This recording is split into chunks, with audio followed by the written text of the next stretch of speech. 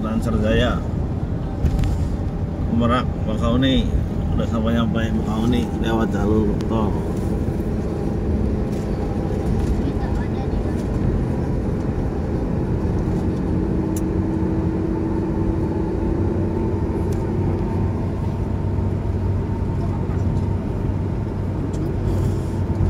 Menuju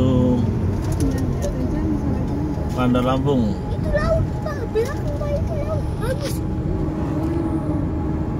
udah tadi